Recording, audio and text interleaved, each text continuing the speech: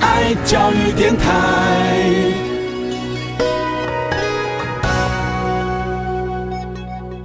欢迎收听《胎绿游乐园》。对，你们会跟台下互动吗？在表演的过程里？嗯，会啊，就是怕没有人会理而已。有一次，有一次在有一次在海那个那个哪边村闹吗？还是肯定啊的真的，OK，对在高雄今年的在今年的在高雄哦高雄今年办在高雄，嗯就是因为有些歌像晴天雨天这种比较嗯，这个真的比较 gospel 的，嗯，然后就是。哎、大家要不要跟我一起唱？然后我我知道台下没有什么人，但是还是会跟大家想要互动。然后我走下去，大家都跑掉，什么意思啊？大家都跑掉嗯，他就是是真那那追不下去那我那我就想说啊，你又来看我们，然后又不跟我不又又不跟我那个哎，这有点像暗恋的状态耶。就是在旁边静静静支持你，就受喜喜欢我的人突然走过来靠近我的时候，我赶快跑掉啊！那谢谢老师，你这样讲了，对，是吧？有安慰到你对，安慰到你，因为我那时候是 怕他怕是说会不会会不会太太嗨吓，因为我自己是很嗨啊，然后哦。怕吓到他们这样子，然后那件事情哦。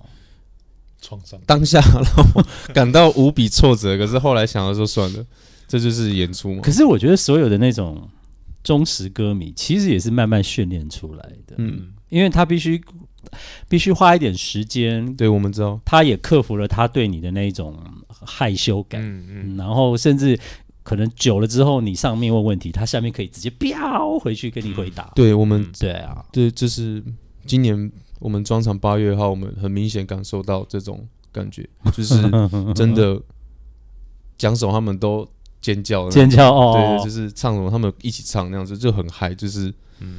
对我们那时候对啊。特别有感受。对啊，对啊。其实有时候一个团跟下面的群众，我觉得那种关系关系有时候有点像情侣，嗯，哎，有时候有点像情侣。哦，对，对，如果你一直当这个情侣在走久的话，它开始就会变成一种宗教，那个爱就变得更大，哦，最后就会变像，哦，我我大概知道，我懂意思吗？我刚刚哦的太怪了，我就是说，我我知道你说什么，对对，然后变成一种像宗教的时候，就会变成像苏打绿五月天变邪教，就是 就开始拉低塞、乐色化，然后下面的人最喜欢听的是这一段，就是会走走到那个状态去嗯这样子。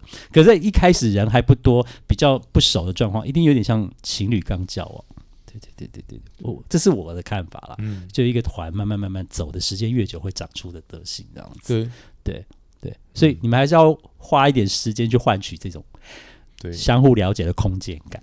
我们还蛮喜欢这种感觉的，就是我们暧昧嘛，对吧？我觉得我我觉得暧昧跟意犹未尽是最高境界，哦，对吧？对，对，意犹未尽，啊结束了，暧昧有想象空间，都永远是最好的，不只是两个相处的情人。嗯我觉得歌迷跟乐团、艺人跟他的粉丝，好像都都必须是这个状况，会最美好。嗯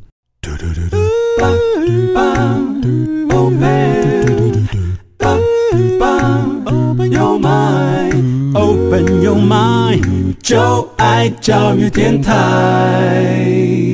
do do do do shooby doo bow.